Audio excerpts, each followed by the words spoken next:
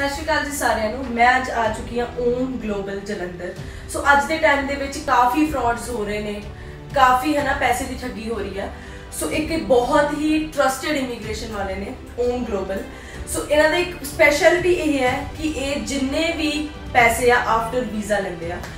ਸੋ ਬਾਕੀ ਆਪਾਂ ਕੁਐਸਚਨਸ ਕੁਝ ਪੁੱਛਾਂਗੇ, ਇਹਨਾਂ ਨੂੰ ਪੁੱਛਾਂਗੇ ਕਿ ਕਿਉਂ ਇਹ ਆਫਟਰ ਵੀਜ਼ਾ ਸਾਰੇ ਪੈਸੇ ਲੈਂਦੇ ਆ। ਸੋ ਇਹ ਨੇ ਰਿੱਕੀ ਸੰਧੂ, ਤੁਹਾਡੇ ਲਈ ਕੁਐਸਚਨ ਹੈ। ਕਿ ਤੁਸੀਂ ਕਿਉਂ ਆਫਟਰ ਵੀਜ਼ਾ ਸਾਰੇ ਪੈਸੇ ਲੈਂਦੇ ਹੋ? ਸੋ ਦੇਖੋ ਕੁਐਸਚਨ ਦਾ ਆਨਸਰ ਜਨਰਲੀ ਤੁਸੀਂ ਆਪ ਹੀ ਦੇ ਚੁੱਕੇ ਹੋ। ਬਹੁਤ ਸਾਰੇ ਲੋਕਾਂ ਨਾਲ ਠੱਗੀ ਹੁੰਦੀ ਹੈ। ਸੋ ਇਨੀਸ਼ੀਅਲ ਡਿਪੋਜ਼ਿਟ ਦੇ ਨਾਂ ਤੇ ਪੈਸਾ ਲਿਆ ਜਾਂਦਾ ਕਿ ਪਹਿਲੇ ਐਡਵਾਂਸ ਪੈਸਾ ਦੇ ਦਿਓ।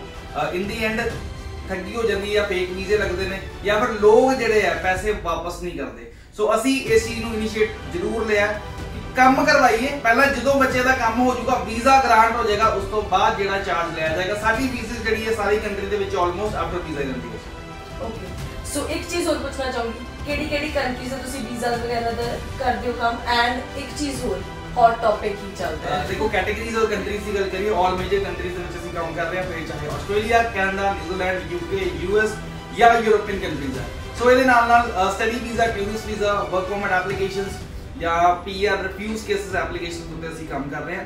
ਸੋ ਹੌਟ ਟੌਪਿਕ ਦੀ ਗੱਲ ਕਰਦੇ ਹਾਂ। ਸੋ ਚਰਚਾ ਦਾ ਵਿਸ਼ੇ, ਜਦੋਂ ਵੀ ਗੱਲ ਕਰਦੇ ਹਾਂ, ਵਿਦੇਸ਼ਾਂ ਵਿੱਚ ਜਾਣ ਦੀ ਤਾਂ ਅਕਸਰ ਨਾਮ ਲਿਆ ਜਾਂਦਾ ਜੀ ਕੈਨੇਡਾ ਦਾ। ਸੋ ਕੈਨੇਡਾ ਦੇ ਵਿੱਚ ਸੋ ਬਹੁਤ ਸਾਰੀ ਐਪਲੀਕੇਸ਼ਨਸ ਕੁਐਰੀ ਸਾਡੇ ਕੋਲ ਆਈ ਹੈ ਕਿ ਜਦੋਂ ਦੇ ਰੂਲਸ ਅਪਡੇਟ ਹੋਏ ਆ, ਇਹਦੇ ਨਾਲ ਨਾਲ ਜਿੰਨਾ ਕੁ ਬਜਟ ਪਹਿਲਾਂ ਸਟੂਡੈਂਟ ਵੀਜ਼ਾ ਤੇ ਬੱਚਾ ਸੋਚਦਾ ਸੀਗਾ, ਉਨੇ ਕੁ ਬਜਟ ਦੇ ਵਿੱਚ ਅਸੀਂ ਕੈਨੇਡਾ ਦਾ ਵਰਕ ਪਰਮਿਟ ਲਗਵਾ ਕੇ ਦਾਂਗੇ ਇੰਡੀਆ ਤੋਂ। ਆਈ ਰਿਪੀਟ ਇੰਡੀਆ ਤੋਂ ਕੈਨੇਡਾ ਦਾ ਵਰਕ ਪਰਮਿਟ ਲਗਵਾ ਕੇ ਦਾਂਗੇ ਜੀ। 2 ਸਾਲ ਦਾ ਵਰਕ ਪਰਮਿਟ ਗ੍ਰਾਂਟ ਹੋਏਗਾ। ਇਹਦੇ ਨਾਲ ਨਾਲ ਜਿਹੜੇ ਐਸੇ ਐਪਲੀਕੈਂਟ ਹੈ ਹਸਬੰਡ ਵਾਈਫ ਇਕੱਠੇ ਜਾਣਾ ਚਾਹੁੰਦੇ ਜਾਂ ਵਿਦ ਕਿਡ ਜਾਣਾ ਚਾਹੁੰਦੇ ਆ।